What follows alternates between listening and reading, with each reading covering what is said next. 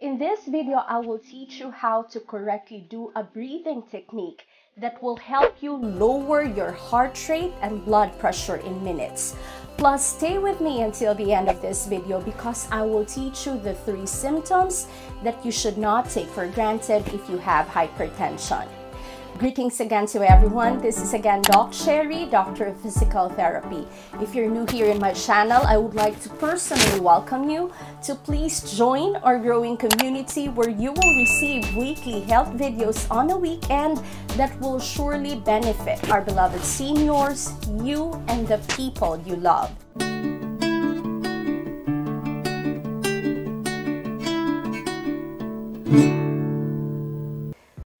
Majority of our seniors and adults have hypertension.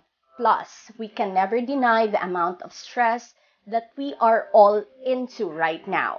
If you are stressed out, your body produces hormones that allows your blood vessels to narrow and your heart to beat faster, giving you a higher BP reading. Normal blood pressure should be lower than 120 over 80 Beyond that, we are considering hypertension, and a blood pressure reading of 90 over 60 is considered to be hypotensive or low blood pressure. Whenever you are in a stressful situation, whenever you feel that you have heart palpitations and you feel that your BP is high, do this technique. This is safe, effective, and a practical way to lower your heart rate and blood pressure. But this should in no way replace any existing antihypertensive medications that you have. This breathing technique is what we call as diaphragmatic breathing exercise. And I also recommend this to patients who are suffering from COPD, pneumonia, and even during a bout of anxiety attack. So next time when you are in a stressful situation, I want you to try to relax and compose yourself. You can sit down or another option is for you to lie down with your head slightly elevated so that this way gravity helps with the diaphragm to function better. You loosen any tight clothing that you have and then using your one hand, you place this above your chest while the other hand you place in your tummy. The reason and the rationale for this is for you to do a self-check or for you to assess if whether or not you are doing this breathing exercise correctly. Inhale slowly and deeply through your nose. Mentally count and hold it for 5 seconds.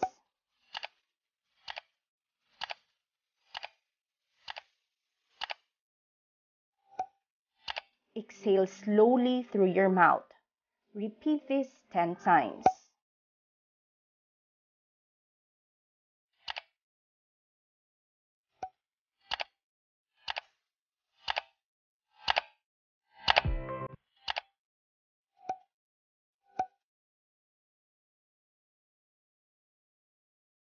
If you are doing this correctly, you will feel a slight rise in your tummy when you inhale and a slight fall in your tummy when you exhale.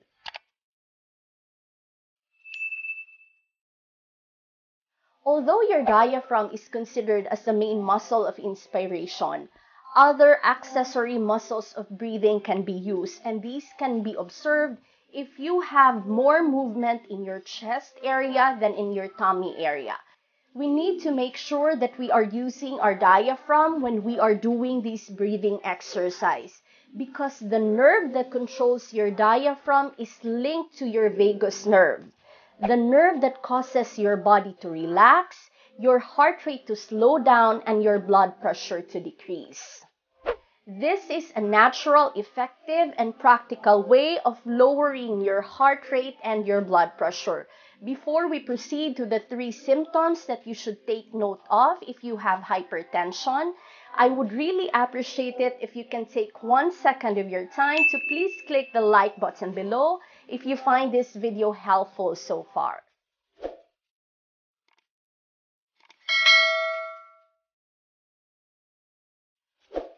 Now, if you have hypertension, I would like to teach you an acronym that you need to know and you really need to remember. This is the acronym FAST. Always be mindful that if you have these three symptoms, you should not waste your time in trying to lower down your BP, but instead ask a family member to bring you to the nearest ER or hospital. F stands for facial drooping. If you notice that there is a symmetry, especially in the lower quadrant of the mouth when you smile, A stands for arm weakness. If you find it hard to raise one arm, if you find it difficult to hold or grasp certain objects, and S stands for speech difficulty. If you find it difficult to utter words or utter sounds, or if you find that a particular family member cannot follow simple sentence, call the ER and bring that family member to the hospital immediately. And lastly, T. T stands for time. Time is of essence if you feel these three symptoms. It can make a whole world of difference for you and your family if you receive proper treatment during the first one hour that you feel these three symptoms. Diaphragmatic breathing exercise is a safe, effective, natural, and practical way to lower your heart rate and your blood pressure. Plus, I have taught you in this video the acronym FAST, which stands for the three symptoms that you should be mindful of if you have hypertension. Please share this video to your friends and family members who are battling with hypertension because now more than ever, we need to be proactive about our health. Should you have any questions about this video, please comment down below because I would really get back on you.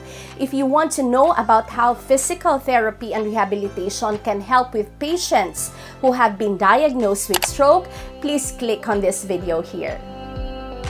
Thank you very much for watching. This is again Doc Cherry. Stay safe, stay happy and healthy. God bless you.